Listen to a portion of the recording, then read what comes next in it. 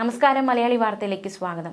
ആസ്റ്റർഡാമിൽ Israel football club ആരാധകരും ഫലസ്തീൻ അനുകൂലികളും തമ്മിൽ സംഘർഷം.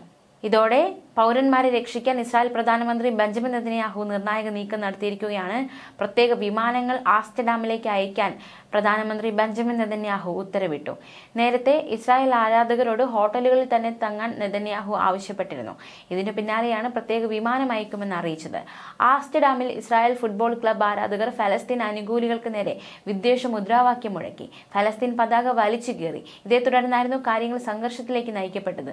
ഇരു വിഭാഗങ്ങൾ തമ്മിലുള്ള ഏറ്റുമുട്ടലിൽ നിരവധി പേർക്കാണ് പരിക്കേറ്റത്. ഡച്ച് ടീമായ അജാസ്കിനെതിരായ യൂറോപ്പ ലീഗ് മത്സരം കഴിഞ്ഞ ശേഷം വ്യാഴാഴ്ച രാത്രി സ്റ്റേഡിയം വിട്ടു പുറത്തെത്തിയ ഇസ്രായേൽ ആരാധകർ ഫലസ്തീൻ വിരുദ്ധ മുദ്രാവാക്യം മുഴക്കി. ഫലസ്തീൻ പതാക വലിച്ചു കീറി.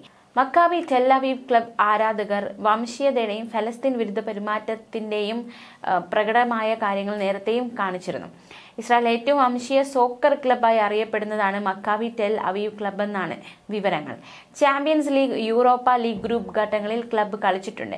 അക്രമികൾക്കെതിരെ കർശനമായും വേഗത്തിലും പ്രവർത്തിക്കാനും ഇസ്രായേലികളുടെ സമാധാനം ഉറപ്പാക്കാനും നെതന്യാഹു ഡച്ച് അധികാരികളോട് അഭ്യർത്ഥിക്കുകയുണ്ടായി. പത്ത് ഇസ്രായേലികൾക്ക് പരിക്കേറ്റതായി ഇസ്രായേൽ വിദേശകാര്യമന്ത്രി ഗിദിയോൺ സാർ സ്ഥിരീകരിച്ചു. വ്യാഴാഴ്ച രാത്രി ആസ്റ്റഡാമിൽ ഇസ്രായേൽ ക്ലബായ മക്കാബി ടെല്ലവി ഫുട്ബോൾ ടീമിന്റെ ആരാധകർ ആക്രമിക്കപ്പെട്ടതായി അമേരിക്കയിലെ ഇസ്രായേൽ എംബസി എക്സിൽ കുറിക്കുകയും ചെയ്തു. അതേസമയം ഈ ഇടയ്ക്കായിരുന്നു ഇസ്രായേൽ പാർലമെന്റ് നിർണായകമായ ഒരു നീക്കം നടത്തിയത്. അതായത് ഫലസ്തീൻ ആക്രമണകാരികളെയും അവരുടെ കുടുംബാംഗങ്ങളെയും നാട് കടത്താനുള്ള നിയമം പാസാക്കി ഇസ്രായേൽ പാർലമെന്റ്. സ്വന്തം പൗരന്മാർ ഉൾപ്പെടെയുള്ള ഫലസ്തീൻ ആക്രമണകാരികളുടെ കുടുംബാംഗങ്ങളെ യുദ്ധത്തിൽ തകർന്ന ഗാസ മുനമ്പിലേക്കോ മറ്റ് സ്ഥലങ്ങളിലേക്കോ നാട് കടത്താൻ അനുവദിക്കുന്നതാണ് നിയമം. പ്രധാനമന്ത്രി ബെഞ്ചമിൻ നെതന്യാഹുവിന്റെ ലിക്വിഡ് പാർട്ടിയിലെ അംഗങ്ങളും തീവ്ര വലതുപക്ഷ സഖ്യ കക്ഷികളും ചേർന്ന് നാൽപ്പത്തിയൊന്നിനെതിരെ അറുപത്തിയൊന്ന് വോട്ടുകൾക്കായിരുന്നു നിയമം പാസാക്കിയത്. പക്ഷേ സുപ്രീം കോടതി കൂടി അംഗീകരിച്ചാൽ മാത്രമേ ഈ ഒരു നിയമം പ്രാബല്യത്തിൽ വരൂ. ആക്രമണത്തെക്കുറിച്ച് മുൻകൂട്ടി അറിയുന്ന അല്ലെങ്കിൽ ഭീകരവാദ പ്രവർത്തനത്തെ പിന്തുണയ്ക്കുകയോ തിരിച്ചറിയുകയോ ചെയ്യുന്ന ഇസ്രായേലിലെ പലസ്തീനികൾക്കും കിഴക്കൻ ജെറുസലേമിലെ നിവാസികൾക്കും ഇത് ബാധകമായിരിക്കുമെന്നാണ് നിയമം അനുശാസിക്കുന്നത്.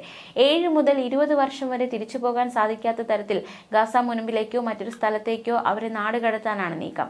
അതേസമയം അധിനിവേശ വെസ്റ്റ് ബാങ്കിൽ ഇത് ബാധകമാകും എന്ന കാര്യത്തിൽ വ്യക്തമല്ല. പതിനായിരക്കണക്കിന് ആളുകൾ കൊല്ലപ്പെടുകയും പകുതിയിലധികം ജനങ്ങളും പലായനം ചെയ്യുകയും ചെയ്ത ഗാസയിൽ ഇസ്രായേൽ ഹമാസ് യുദ്ധം ഇപ്പോഴും രൂക്ഷമാണ്. വാസയോഗ്യമല്ലാതെ ഗാസ മാറിയിരിക്കുന്ന സാഹചര്യമാണ് നിലവിലുള്ളത്. ഇത്തരം സാഹചര്യത്തിൽ ഇത്തരം സ്ഥലങ്ങളിലേക്ക് നാടുകടത്താൻ അനുവദിക്കുന്നതാണ് നിയമത്തിന്റെ ചുരുക്കം. ആക്രമണകാരികളുടെ കുടുംബ വീടുകൾ പൊളിക്കുക എന്ന ദീർഘകാല നയവും ഇസ്രായേൽ സ്വീകരിച്ചിട്ടുണ്ട് എന്നതും എന്നാൽ നിയമം സുപ്രീം കോടതിയിൽ എത്തിയാൽ മുൻ ഇസ്രായേലി കേസുകൾ പരിഗണിച്ചാൽ അത് റദ്ദാക്കപ്പെടാൻ സാധ്യതയുണ്ട് എന്ന് നിയമ വിദഗ്ധർ ചൂണ്ടിക്കാണിക്കുന്നുണ്ട്. ന്യൂസ് ഡെസ്ക് മലയാളി വാർത്ത.